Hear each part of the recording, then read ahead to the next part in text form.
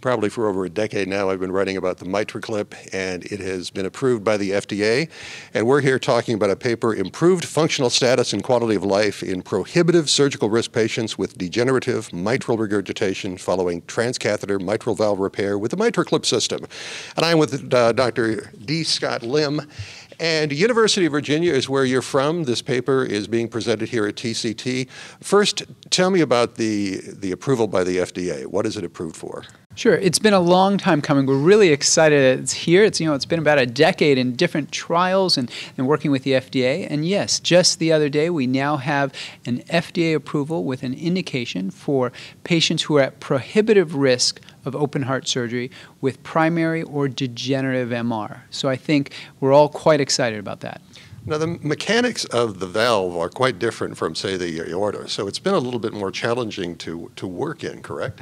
Absolutely. I think, unlike the aortic valve and aortic stenosis, which tends to be more binary, this is truly a spectrum. And I think it's taken us a while to also appreciate that and appreciate that even within certain subtypes of mitral regurgitation, there's a lot more that we need to learn to figure out appropriate patient selection and therefore getting to what's appropriate therapy.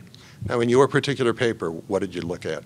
So, what we looked at is the same population of patients that make up the indication that the FDA just granted. So, originally, with the MitraClip, we did a randomized clinical trial, Everest 2, which looked at all comers, both all comers in terms of mitral regurgit- regurgitation type as well as the risk profile in those. And with time, we've learned that the true sweet spot for this device appears to be in those patients who are really quite high risk for open heart surgery. That's what this manuscript, this paper looks at. How many people were involved in this study?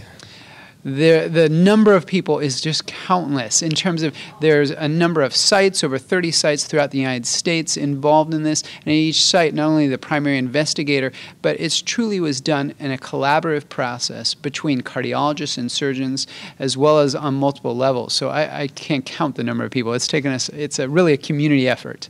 In terms of this particular paper you're presenting here, you're looking at about how many years worth of uh, follow up? So all of the patients that were enrolled in this particular patient study came from either the Everest High Risk Registry or the Realism Continued Access Registry over a course of a number of years. The average follow up exceeded two years in those patients. And I think the data that we're we've gotten out of that is quite encouraging, looking in terms of the safety profile as well as outcomes and quality of life measures. In terms of TAVR, in the United States, the guidelines certainly outline the fact that it, this is a team approach and should be taken care of, and the decisions need to be made by a team. Is this the case here? Absolutely. And I think uh, the other element of the team is not just the cardiologist, the interventional cardiologist, not just the surgeon, but also the imager. So the non invasive uh, echocardiologist because I think much of our understanding of the mitral valve really comes from echocardiographic imaging to understand the pathology and understand how the therapy, in this case a MitraClip, will interact with that pathology. Can you describe the specific patient who might benefit the most? You're saying high risk. I mean, you've obviously seen a few patients in your time. What do they look like? Absolutely. So we, uh, the term that's in the FDA indication, as well as in this paper, is patients who are at prohibitive risk for open heart surgery. That doesn't mean that they are inoperable. It just means that the expected benefit from open heart surgery is outweighed by the risk to that patient in terms of outcomes, quality of life, so forth. So that's why the surgeon and the uh, interventional cardiologist need to work together to determine that patient's Absolutely. needs.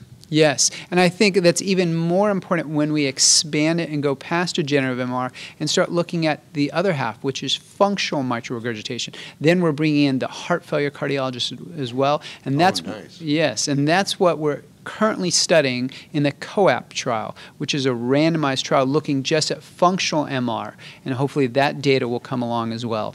Well, if you're looking for the paper, it is published alongside uh, in JACC Interventions uh, to coincide with a meeting presentation here at TCT. For uh, D. Scott Lim, I'm Rick McGuire, and this is for CardioSource World News.